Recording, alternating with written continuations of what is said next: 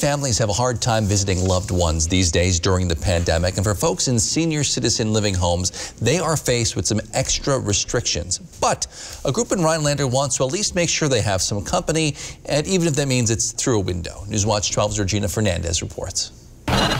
Flop,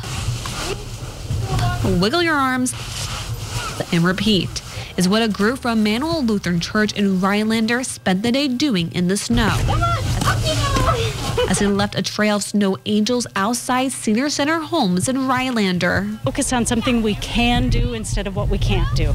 So we know that we could get together and play outside in the fresh air, and and um, and so that's what we what we did to create the angels around us. Their goal to get a smile from residents. And that's really what our hopes were was to make some people smile and just forget about other things for a few minutes even.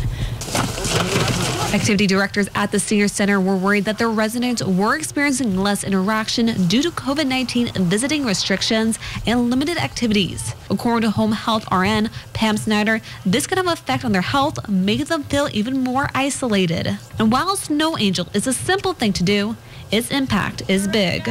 This gives an opportunity, you know, for visual stimu- stimulus and um, and just to get a, a small amount of socialization, even though it's through a window.